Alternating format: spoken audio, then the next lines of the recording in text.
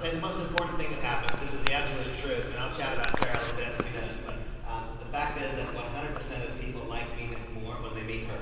Uh, I'm not, I'm not sure what that's about, but when people come to our home, then they know us. You, know, you get a certain impression of who we are here, but when you're in our home, you know us. You know things that can't be faked. You can't walk into a home and fake it there. What people see when they come to our home is number one, it's a sanctuary. It's a place of peace and harmony. It's a place of love. Um, it's a place that's encouraging, supporting.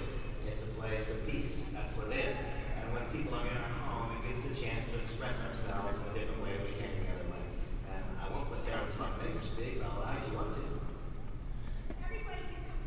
There you go. Okay, beautiful. Okay. And so we thank you all very much for the effort that took to get there, and I promise you something will happen. I don't know what. Something will happen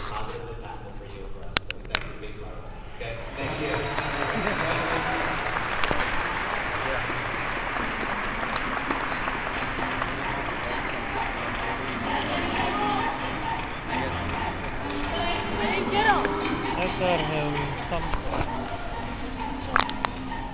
I didn't get the video to get Yeah, I just want to apologize.